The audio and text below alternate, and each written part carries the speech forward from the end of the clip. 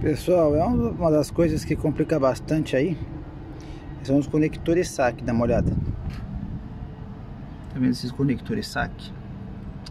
Então eu sei quem é cada um nesse, nesse quadro de comando. Cada um eu conheço. Cada um tem cara.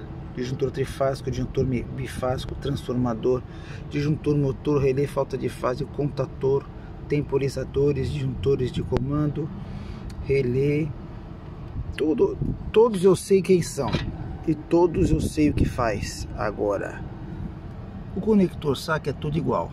Eu não sei quem é quem, eu não sei o que cada um faz, eu não sei para onde cada um vai.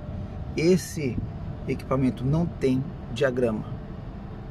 Então você vê o tamanho da encrenca que é esses conectores saques, como eles confundem que ao contrário de todos, eles são todos iguais.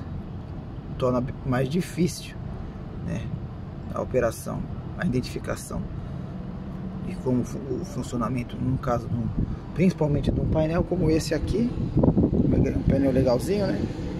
Um painel que não possui diagrama.